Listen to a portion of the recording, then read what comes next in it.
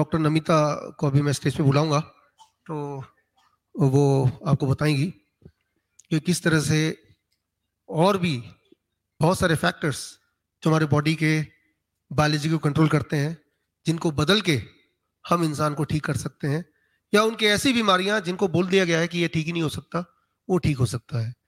तो खैर, हमारे हॉस्पिटल्स में जो पेशेंट्स आते हैं वो ज़्यादातर ऐसे आते हैं जो ऑलरेडी एंड स्टेज पे हैं, ज़्यादातर किडनी के। लेकिन इसका मतलब ये नहीं कि जो एंड स्टेज में नहीं है, वो वेट करें कि पहले एंड स्टेज तक पहुँचे। मैं तो ये बोलता हूँ कि हॉस्पिटल ना होके एक ट्रेनिंग सेंटर होना चाहिए। इसीलिए हमारा हॉस्पिटल का नाम भी ऐसे ही है hospital and institute of integrated medical sciences right so institute भी है इंटीग्रेटेड मेडिकल साइंसेस यानी कि आप यहाँ पे ट्रेनिंग भी लेंगे और आप यहाँ पे आके अपना इलाज भी करेंगे। यानी कि जो भी इलाज करने आते हैं, उनको हम ट्रेन भी करते हैं। खास तौर पे ऐसे लोग जो बहुत बीमार नहीं है, उनको सात दिन, दस दिन, बीस दिन रहने की ज़रूरत नहीं है। हम बोलते हैं be with me only for seventy two hours seventy two hours का खास कार्यक्रम हमने शुरू किया हिम्स प्रीमियर हॉस्पिटल में। एक बार आप हाथ रेस कर दो। या अभी देख देख नहीं पाए कोई लोग आपको। खड़े हो गए या सो डॉक्टर विदिका जी हैं, जो हिम्स प्रीमियर के ओनर हैं। वहाँ पे हमने शुरू किया कि तीन दिन का कैंप ओनली थ्री डेज़ और ऐसे पेशेंट जो डायबिटीज़ के पेशेंट हैं हार्ट के पेशेंट हैं बीपी के पेशेंट हैं, जिनको नींद नहीं आती खास तौर पे, जिनको बॉडी में पूरे दिन दर्द रहता है फाइब्रोमाइल्जी के पेशेंट पार्किंसन के patients stay with us for three days उन तीन दिन में हमने सिर्फ़ एक ही काम किया, उनके बॉडी क्लॉक को ठीक करने की कोशिश की। वो कैसे? वही सारे फैक्टर्स जो हमने अभी मैंने आपको बताया ये उनमें से कुछ है। तो तीन दिन तो हमारे कंट्रोल में है वो पूरे। और ये देखा गया कि जैसे जैसे जैसे दिन बीतता गया, उनकी ब्लड शुगर की दवाई ब्लड प्रेशर की दवाई, उनकी इंसुलिन इनको टेपर करने की टीम अलग से थी तो वो टेपर करना ज़रूरी हो गया। छुड़वाना ज़रूरी हो गया। पेन किलर की ज़रूरत खत्म होने लगी। तो just by changing certain rules of the life कि किस तरह से हम छोटे छोटे बदलाव करें और ताकि जो दवाइयों पे आपकी निर्भरता है, सालों साल से, वो इस तरह खत्म करें कि बॉडी वो दवाई बनाने लगे। और बात सिर्फ़ ब्लड शुगर ब्लड प्रेशर की नहीं है, बात है ऐसी बीमारियों की या जिनको बीमारियाँ बोली जाती है जिससे एक इंसान या उसके पूरे परिवार या परिवार के भी एक्सटेंडेड परिवार का जीवन खराब होता हो। यहाँ मैं बात कर रहा हूँ थैलेसीमिया की, छोटे बच्चों की, जिन्हें यह बोला गया है कि आपका बच्चा जब तक ज़िंदा रहेगा, तब तक उसको खून चढ़ता रहेगा। तो खैर, एक पल के लिए अगर आप सोचें कि वो बच्चा आपका है तो कितनी दुख की बात है। जबकि सच बात यह है कि अगर उस बच्चे के लाइफस्टाइल में कुछ बदलाव किए जाए तो बच्चे को कभी भी खून नहीं चढ़ेगा। और ऐसा कर दिखाया डॉक्टर नमिता ने। Namita can come on stage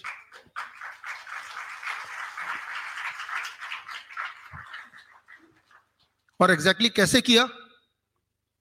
और किन के साथ किया?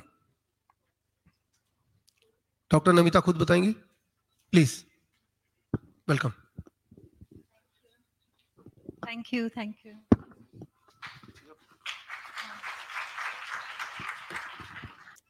तो पहले तो आज मैं बहुत खुश हूँ क्योंकि मेरठ मेरा होम टाउन है और दूसरा हम लोग थैलेसेमिया की हिस्ट्री को चैलेंज करने जा रहे हैं।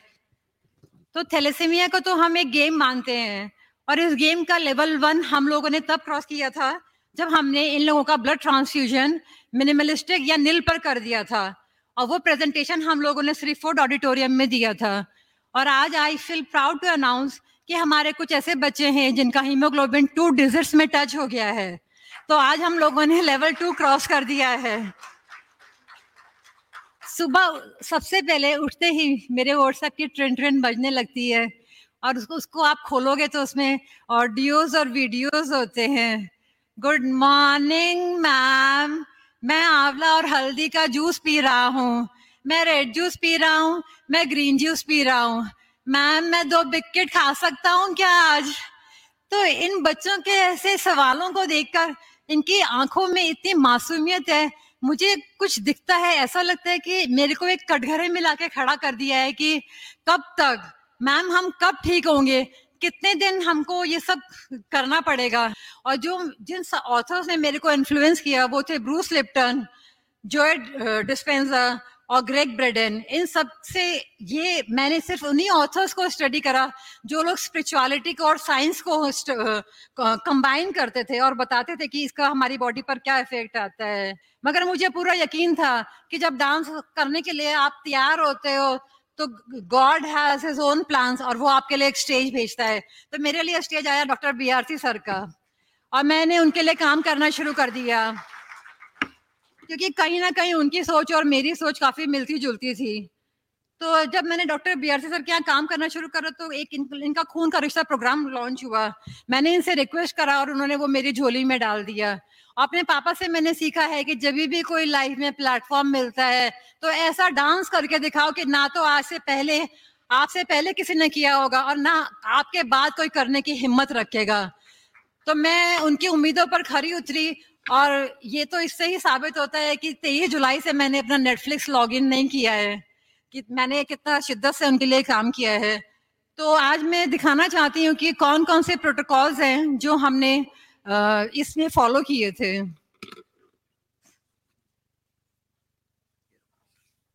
स्लाइड्स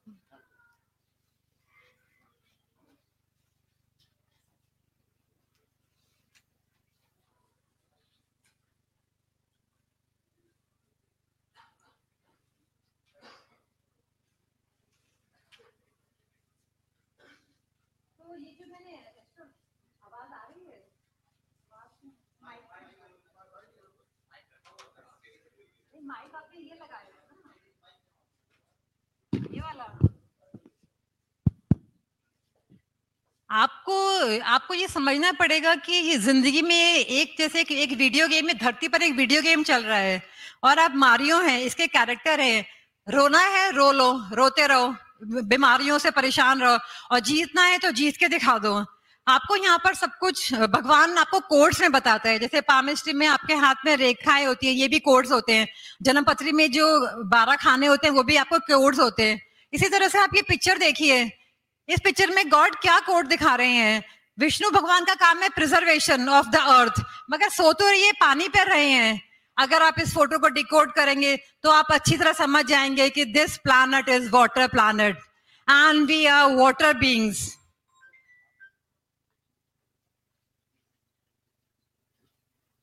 next कैसे होगा? तो अगर हम लोग वाटर बींग्स हैं, अगर आप देखेंगे तो वॉल्यूम से हम लोग 80 परसेंट वाटर के बने हुए हैं। और अगर हम मॉलिक्यूलर लेवल पर देखते हैं तो 100 में से निन्यानवे मॉलिक्यूल वाटर के हैं। तो अगर आप अपना वाटर करेक्ट कर लेते हैं तो ये बहुत आसान सी बात है कि आपकी आधी से ज़्यादा बीमारियाँ तो करेक्ट ही हो सकती हैं। अब आप बोलेंगे, पानी तो हम पीते हैं वाटर तो करेक्ट ही है, परेशानी क्या है? अगर आप इलेक्ट्रॉन माइक्रोस्कोप में देखेंगे तो ये भगवान का बनाया हुआ पानी है। ये वो पानी है जो ग्लेशियर से जो पा, पानी पिघलता है पहाड़ों पे से जो the water which is untouched by man जो मैन ने छुआ नहीं है ये वो पानी का वो स्ट्रक्चर है। और ये पानी है जो आपके नल में से आ रहा है। अब आप देखिए कि आपको इसको देख के ही समझ में आएगा कि कौन सा पानी ठीक आपकी बॉडी के लिए ठीक है। अगर आपकी बॉडी इस तरह के पानी की बनी होनी चाहिए, मगर आपकी बॉडी इस तरह के पानी की है। ये दोबारा से एक और मैं स्लाइड दिखा रही हूँ। ये देखिए, ये जो स्ट्रक्चर है, ये स्प्रिंग वाटर स्प्रिंग वाटर झरने के बहते हुए पानी का स्ट्रक्चर है, और ये वाला जो पानी है, ये टैप वाटर का स्ट्रक्चर है। तो हम लोगों ने सबसे पहले वाटर थेरेपी किया। पानी में बहुत सारी प्रॉपर्टीज़ है, बस हमने एक ही पानी की प्रॉपर्टी ली कि पानी की, वो प्रॉपर्टी की पानी में जैसे मूवमेंट आता है, पानी में जैसे मूवमेंट आता है, वो अपने ओरिजिनल प्रॉपर्टी में आ जाता है।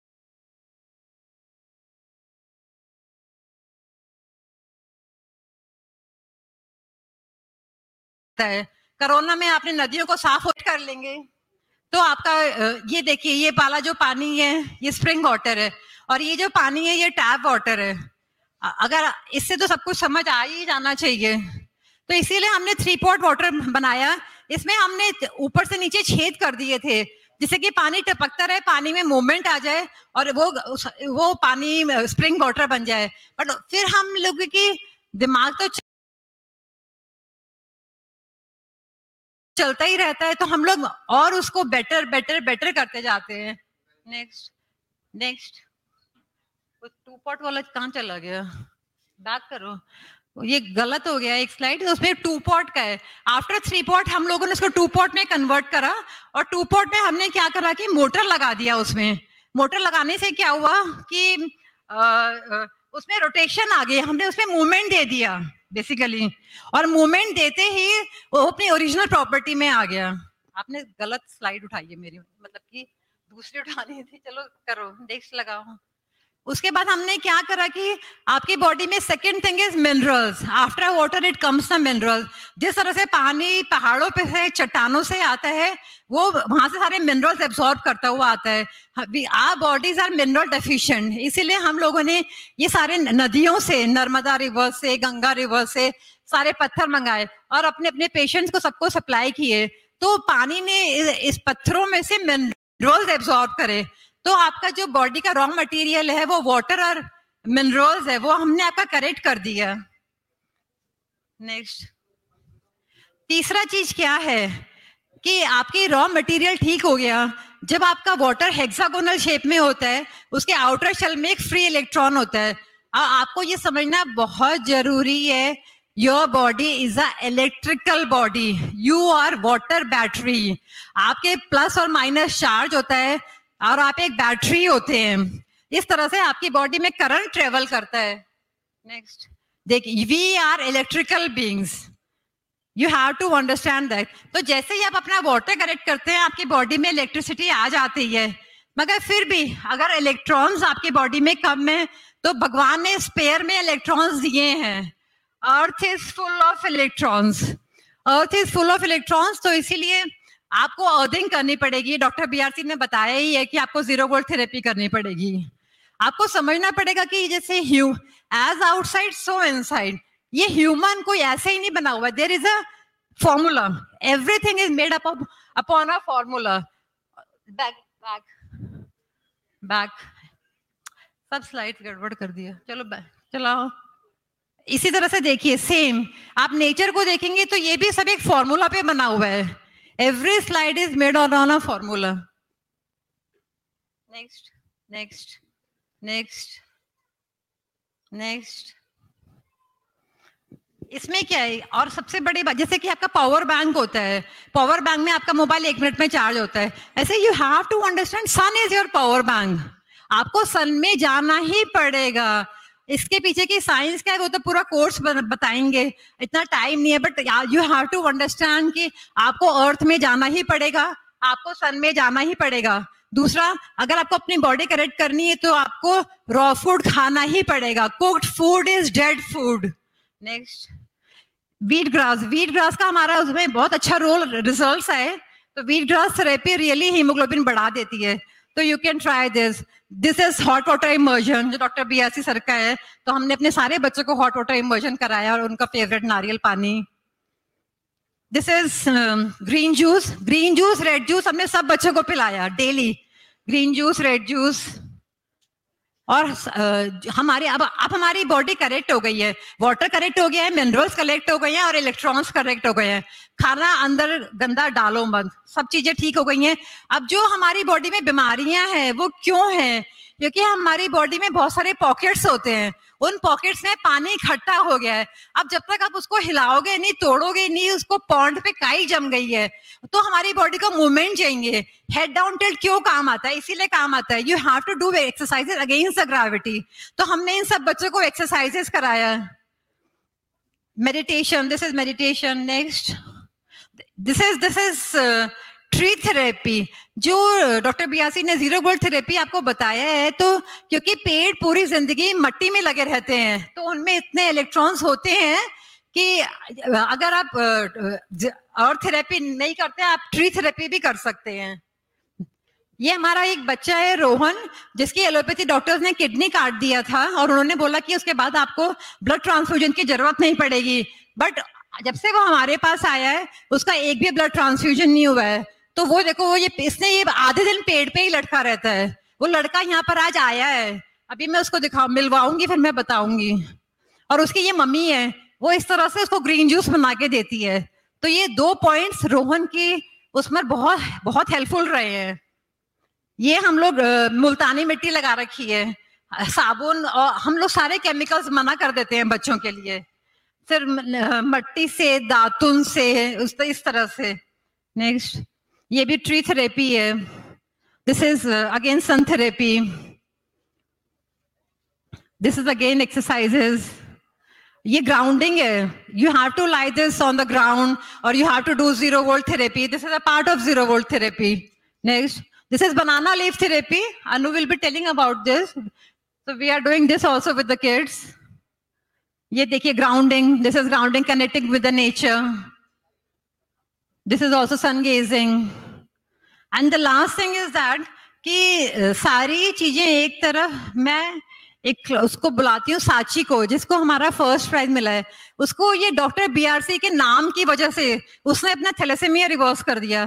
तो मैं बताती हूँ कि सारी थेरेपीज अलग हैं बट माइंड अलग है। Mind is the master and your body is the slave जो आप सोच लोगे, आपकी ज़िंदगी में वो ही होगा। तो ये माइंड थेरेपी ने कैसे हमारे दो बच्चों को थैलेसेमिया उनका रिवर्स किया। आपने अभी रोहन की कहानी सुनी।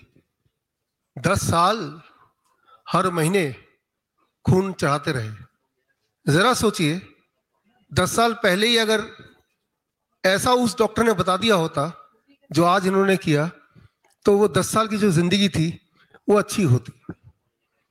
लेकिन आज भी हमारे आसपास बहुत सारे रोहन होंगे। और ये हमारी अब रिस्पॉन्सिबिलिटी है, हमारी आपकी, कि ऐसे रोहन को अगला ब्लड ट्रांसफ्यूजन ना हो, वो ज़िम्मेदारी हम खुद लें। और इसमें इंटरेस्टिंग बात क्या है कि कोई दवा नहीं है।